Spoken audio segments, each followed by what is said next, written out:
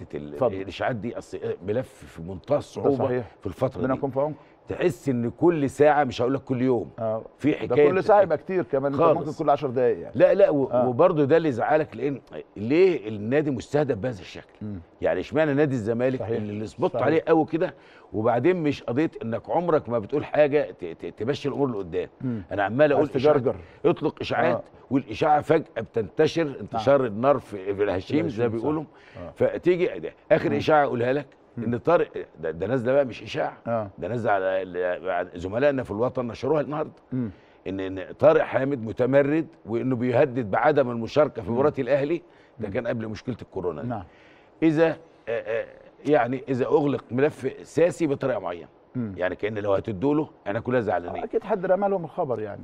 أنا آه. بقول لك بأكد آه. لك بقى والله طارق انت عارف كشخصية ما, ما فيش الكلام ده خالص ما يمشيش مع شخصيته ده ده الراجل يعني بتاع ده بره الملعب حاجة تانية فظيع. نعم بجد حاجة مسؤول نعم. بطريقة غريبة جدا إحنا كنا دايما نقول يعني يا ريت كل لاعبتنا يبقوا طارق حامد نعم عنده مسؤولية عالية قوي يا كابتن. يعني انت عارف هو في الآخر طارق مش كابتن الفرقة. نعم. يعني كابتن حازم إمام كابتن شيكابالا كابتن ولكن تحس إن هو فعلا قائد نعم. جوه الملعب.